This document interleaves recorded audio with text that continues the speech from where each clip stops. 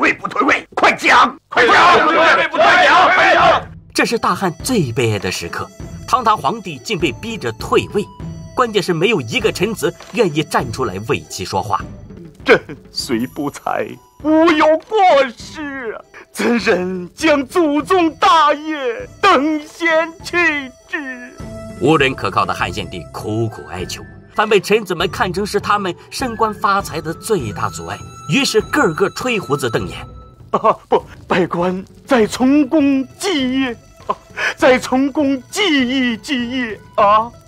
如果是个昏庸的皇帝，此刻也许还好受一些。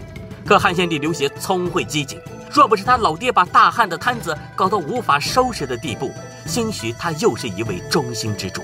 汉室相传四百余年，延至陛下，